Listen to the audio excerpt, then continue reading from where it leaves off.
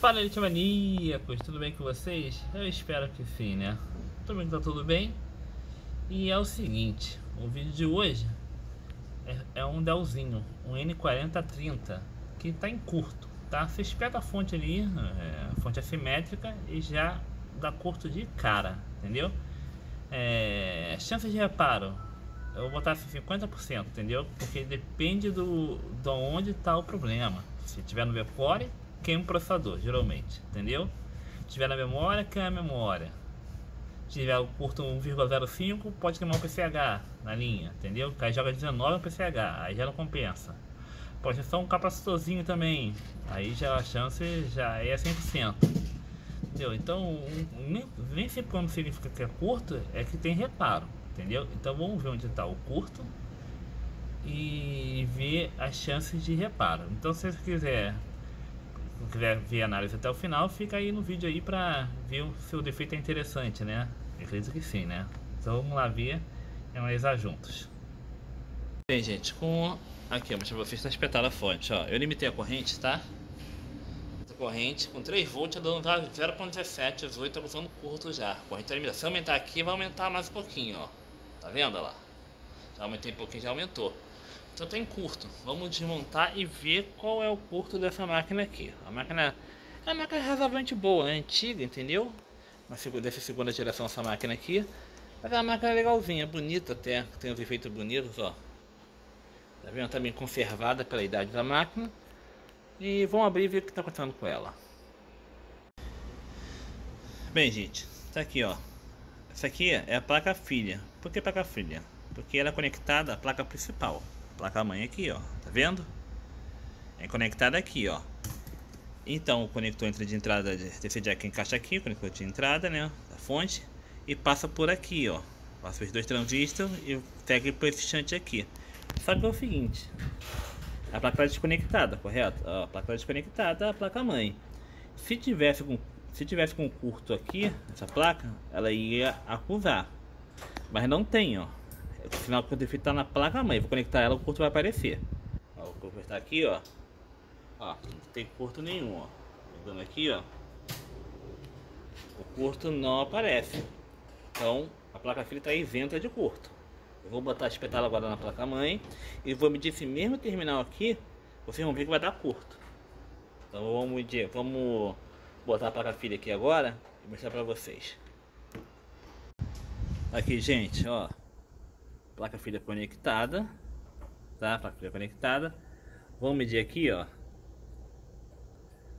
A gente já encontra, mas deixa eu tá com uma contato aqui a ponteira. Deixa eu botar a ponteira direita aqui. Só ajustar a ponteira. A ponteira agora está ajustada. Fica melhor que evita mau contato. Ali o terra, né? Vou botar aqui de novo, ó.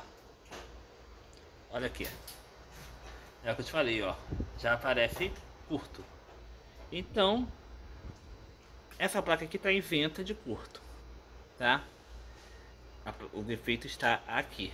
A gente vai comparar agora e ver se é algum problema na bobina, se é algum curto, um curto perigoso, né? Um curto que pode matar a máquina. Bem, aqui não tá. Tem. O defeito provavelmente está aqui, ó. Tá na linha de,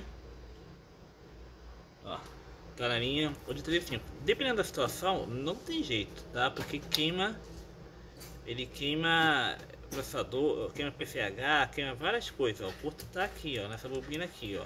Infelizmente, ó. Ou é 3 ou 5 volts. Aqui, ó. Tá vendo? Aqui, ó. Isso já, já é um sinal de alerta. Muito ruim isso. Vou ficar com calma aqui e ver que, que se dá para salvar a placa ou não. O que, acontece? Jogando atenção aqui, essa bobina aqui é 3 volts, tá? Vou dar aqui pra vocês, ó. 1,3 volts, que é menos da metade, já dá 1 ampere. 1,08 ampere. E quem esquenta é esse camarada aqui, o PCH. Então para começar a reparar essa placa, teria que trocar o PCH que foi embora. Já era o PCH, entendeu? Só que essa máquina aqui é de terceirizado. E só para trocar o PCH, essa peça deve ser mais faixa de 200 reais. Fora a mão de obra. Aí o valor vai para 400 e pouco. e já fica inviável por terceirizar essa máquina aqui, o reparo dessa máquina. Ele não vai aprovar um orçamento de 400 reais para trocar o PCH dessa máquina. Para começar, se não tiver mais coisa queimada, né? É, existe uma diferença, é o seguinte, tá? É, se o circuito de alta, o que aconteceu aqui, tá? Os MOSFET de alta, provavelmente é um desses dois aqui, tá? Não vou medir agora para saber qual é, tá? Ele queimou, entrou em curto, com força e dreno e jogou a tensão em vez de o 3 volts que é o correto, jogou 19 volts. Jogou 19 volts na linha. 19 volts, o primeiro a arrebentar, geralmente vai embora é o PCH, que não aguenta, suporta essa essa tensão, né? Tem máquinas que o circuito de alta não está queimado. Como se espeta a fonte aqui, não dá curto logo de cara. Esse dá no curto de cara porque o, o MOSFET de alta queimou. E a fonte não protegeu, né? A fonte, a função de proteção não funcionou. E jogou 19 volts aqui na bobina, né? Porque queimou o transistor lá e queimou o, o, o, PCH. Tem máquina que, que dá curto aqui, pode acontecer muito bem, dá curto aqui na linha de 3 volts e o circuito de alta tá ok, aí o dos MOSFET não tem queimado. Aí quando você espetar a fonte aqui, ele não vai jogar, não vai dar aquela amperagem de 3 volts, vai começar a consumir, igual consumiu ali na fonte variável. Ele vai ficar normal, não vai ter aquele consumo que teve, aquele consumo alto que tinha. Entendeu? No, o 19 volts não vai jogar. O 19 volts não não passa direto, porque o MOSFET não queimou. Aí é o circuito da, do, do secundário de 3 volts que estaria com defeito. Aí podia ser esse capacitor de tantal, podia ser um outro capacitorzinho normal. Aí poderia ter solução. Porque o de alta, a tensão alta não passou para a bobina, entendeu? O MOSFET não queimou, seria outra coisa. Mas nesse caso aqui não, foi o MOSFET que queimou e fez para jogar 19 volts para a bobina e queimar o, o PCH. Aí não tem muito o que fazer, né? Aí já era. Se fosse um final, eu poderia sugerir um, um, um preço para ele e trocar o PCH. O orçamento de repente aprovaria, entendeu? Porque é o seguinte, eu cobro 400 reais aqui, mas eu dou um exemplo, cobro 400 reais para trocar isso aqui tá? Aí o, o terceiro vai botar o lucro dele ainda, né? 400 reais por baixo, tá? Que geralmente eu faço cobro 450, se eu fazer isso aqui. Aí, aí tem o, ainda tem o lucro dele. Aí vai ser pelo menos 700 reais a máquina, o final provavelmente não vai querer por ser uma máquina antiga. Entendeu? Vou passar, vou passar pra ele o preço. Se ele aprovar, beleza, a gente troca. Se não aprovar, o vídeo vai terminar por aqui.